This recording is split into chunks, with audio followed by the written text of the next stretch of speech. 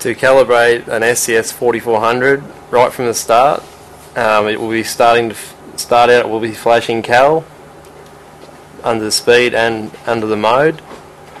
Um, at this stage, you will need to enter in your first calibration, which is the units the console is in. Um, we need to put it to SI simply by pressing the CE button. This scrolls through certain different settings the console can be in. The ones that we need to operate in is SI metric hectares. Once this has been selected, you can press enter to go on to the next stage. Now we have liquid control. Um, all Gold Acre sprayers will be running in liquid control, so we need to press enter again. Standard valve is the valve type is the next calibration setting.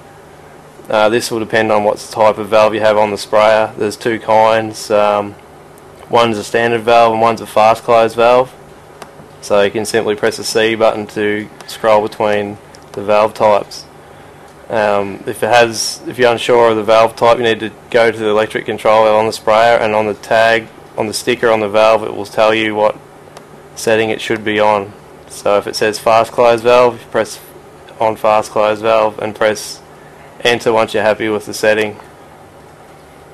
Now we come to the meter cal.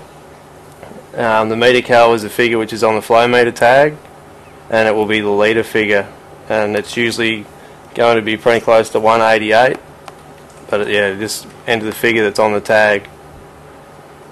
Now amongst the meter cal we have rate cal. This is the application rate.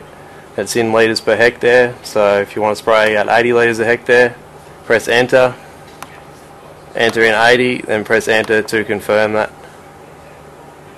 After you've got the rate, it'll ask you to do speed sensor type. It'll be either radar or wheel speed sensor. Again, use the CE button to scroll between the two. So if it's on wheel speed, press enter once you have on wheel speed.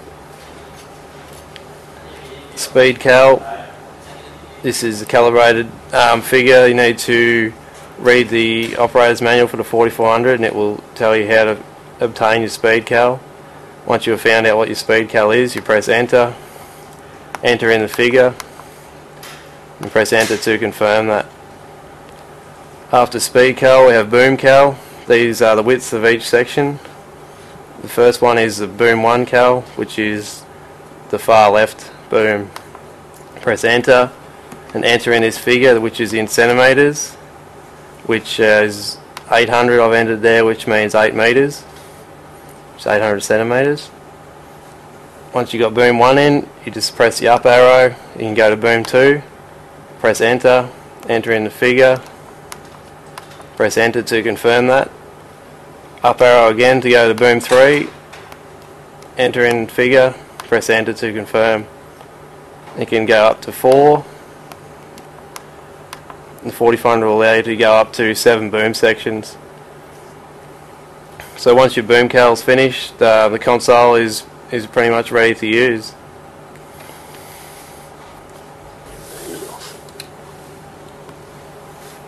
Chapter 8 4000 series console setting tier figures